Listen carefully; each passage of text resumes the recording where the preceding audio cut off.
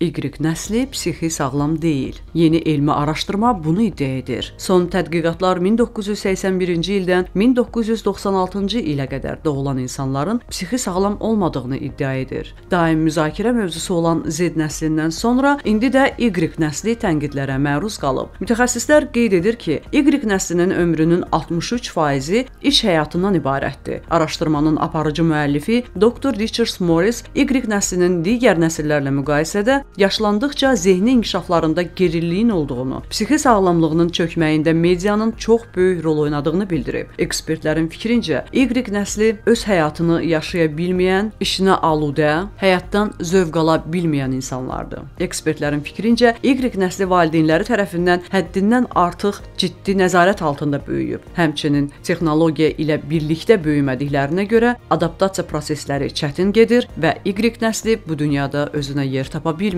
deyə mütəxəssislər qeyd edib.